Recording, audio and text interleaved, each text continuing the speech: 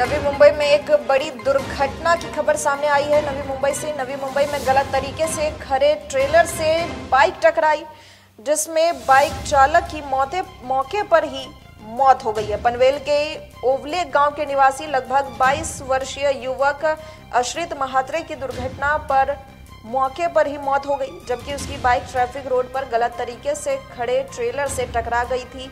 गाभान फाटा से ओबले की ओर मोटरसाइकिल से जा रहे थे, तब उसकी बाइक जे कंपनी के सामने की लेन में सर्विस रोड पर खड़े ट्रेलर से जा टकराई। उन्हें इलाज के लिए एंबुलेंस से गांधी अस्पताल पनवेल भेजा गया।